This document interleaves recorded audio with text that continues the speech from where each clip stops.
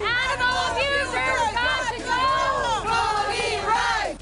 The end of an era at Griffith Park comes this week, but the controversial pony rides continue to spark protests. The pony rides closed to the public Thursday after the Department of Recreation and Parks decided to not extend the contract.